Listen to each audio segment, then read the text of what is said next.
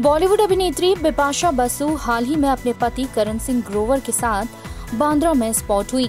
Brown colour की dress में वह काफ़ी प्यारी लग रही थी। करण की बात करें तो वह स्लेटी शॉर्ट्स और ब्लैक टी शर्ट पहने यहाँ दिखे।